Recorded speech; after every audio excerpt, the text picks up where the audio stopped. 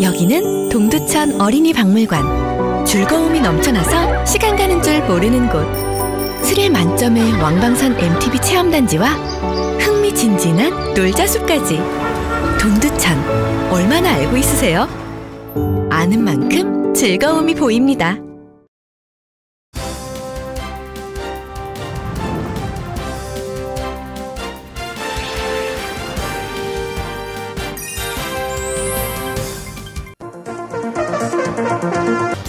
올해 19회를 만든 대한민국 최장수 락축제 동두천 K락 페스티벌이 지난 4일과 5일 한미 우호회 광장에서 열렸습니다.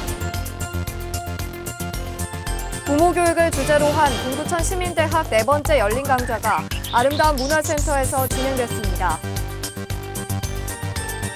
경원축 지역행복생활권협의회 5개 시구는 10일 경기 섬유지원센터에서 경기 북부 2차 테크노밸리의 경원축 유치를 위한 협약을 체결했습니다. 시민 여러분 안녕하십니까? 8월 둘째 주 두드림 주간 뉴스입니다. 지난 주말 한미 우호회 광장에서 동두천 K락 페스티벌이 열렸었죠. 최초의 락 발상지였던 동두천의 명성을 널리 알리고 시민과 락매니아, 주한미군까지 하나가 되어 한여름밤을 뜨겁게 달궜습니다. 축제 현장으로 가보겠습니다. 올해 19회를 맞는 대한민국 최장수 락축제 동두천 K락 페스티벌이 지난 4일과 5일 한미 우호회 광장에서 열렸습니다. 동두천 락 페스티벌 조직위원회가 주최하는 올해 페스티벌에는 아마추어 예선을 통과한 30개 팀의 경연이 지난 4일 본선 무대에서 진행됐습니다. 5일 콘서트에서는 백두산 김경호, 홍경민, 장미여관 등 국내 로커들의 공연이 펼쳐졌습니다. 이번 페스티벌을 통해 최초의 락 발상지였던 동두천에서 시민과 락 매니아가 하나가 되었으며 주한 미군까지 함께 참여해 화합과 우호회장이 만들어졌습니다. 우리 아이를 똑똑한 아이로 키우고 싶은 마음, 부모라면 누구나 가지고 계시죠? 대한민국 영재 1호 푸르미 아빠로 유명한 최희수 강사가 동두천 시민대학 네 번째 열린 강좌를 진행했습니다. 동두천 시민대학 네 번째 열린 강좌가 지난 8일 아름다운 문화센터에서 개최했습니다. 이번 열린 강좌는 대한민국 영재 1호 푸르미 아빠로 유명한 최희수 강사를 초빙하여 배려 깊은 사랑이 행복한 영재를 만든다라는 주제로 진행됐습니다.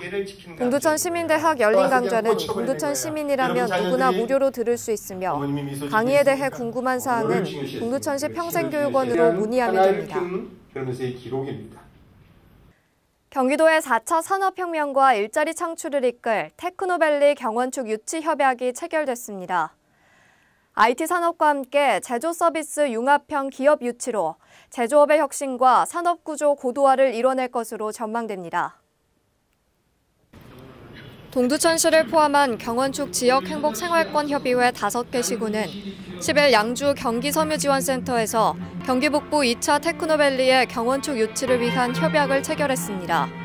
이날 협약식은 동두천시, 의정부시, 포천시, 연천군, 양주시 다섯 개 시군의 시장 군수와 기업인, 관계공무원 등이 참석한 가운데 진행됐으며 경기북부 신성장 동력 확보와 주민의 삶의 질 향상 등 상생 발전을 위해서 공동의 노력을 기울이기로 결의했습니다.